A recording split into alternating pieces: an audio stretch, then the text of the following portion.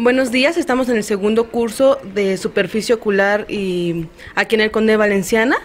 Estamos eh, con el doctor Sayan Basu, que nos visita de la India, eh, y queremos hacerle una entrevista. La primera pregunta, doctor, eh, háblenos acerca de su nueva técnica de trasplante de córnea y qué tiene que ver con la oncología.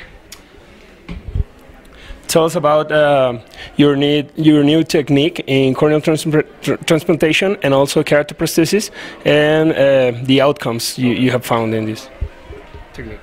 Okay, thank you very much. So uh, today we are going to demonstrate two new techniques that we have developed at the LV Prasad Eye Institute in Hyderabad. And uh, these techniques are for patients who have very severe eye disease um, because of some very complicated problems. Um, some patients have uh, very severe burns in the eyes because of some chemical injuries, or some patients may have uh, very bad corneas in which you cannot do a regular transplantation.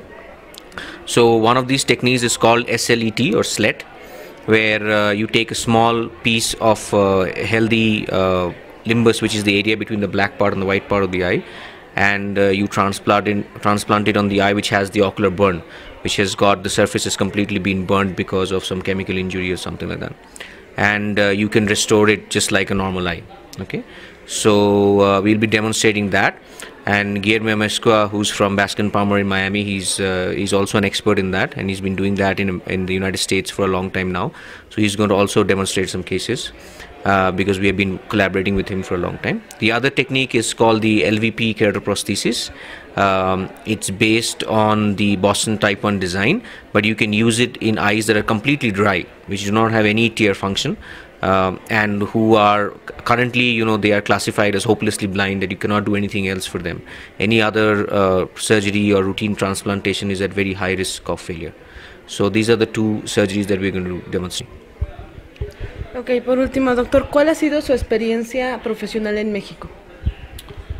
What has been your uh, personal experience? I mean, uh, talking about professional experience in Mexico. Okay. So uh, this is the first time that I've been in Mexico, in Mexico City, and uh, uh, I think it's a very, very, uh, you know, nice place. Very, very lovely people, very, very warm and you know, pleasant people and uh, it's uh, in a very strange way it's also very similar if you see the streets uh, and the and the people here and also the patients who come here with the kind of problems that they do. It's very actually very similar to what we have in india.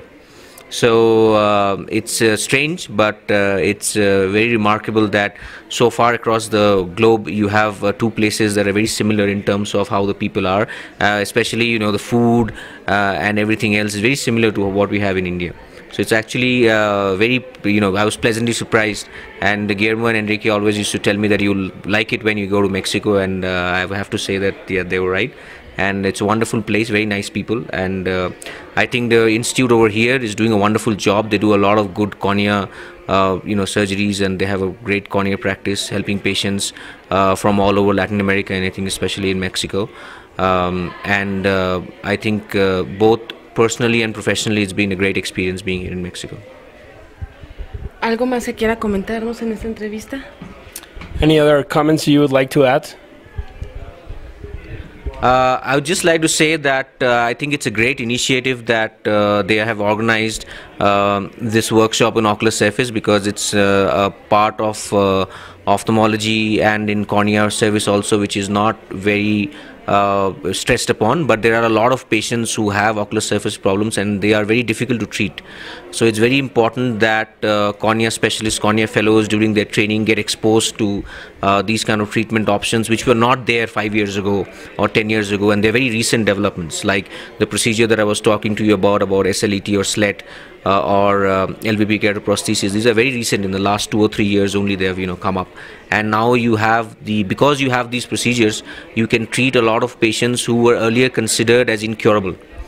You know, people used to say that they have incurable corneal blindness. Like if you had a patient who came in with that problem, doctors would say, you know, there's nothing we can do about this. You know, you probably have to stay blind forever.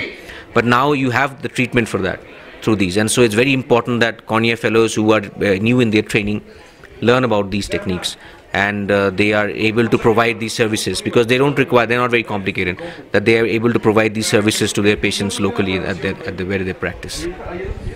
Muchas gracias, doctor. gracias